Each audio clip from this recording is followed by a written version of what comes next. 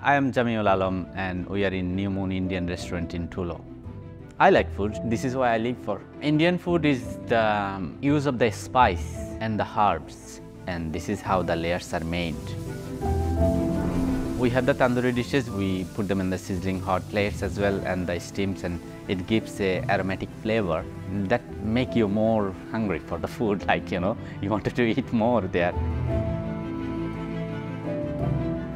We are cooking everything fresh and we are cooking after the order. So we believe in a quote, our food is freshly cooked uniquely for you. We try to get as best as we can from the local supplier. We source our meat from the Ballon Meats.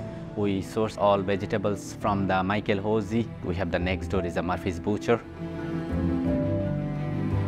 I am proud of Carlow. Is a friendliness, is a calm and surrounding of it is very beautiful. It's full of natural resources. People from India, they always fancy to live here. In Carlow, people say live and let live.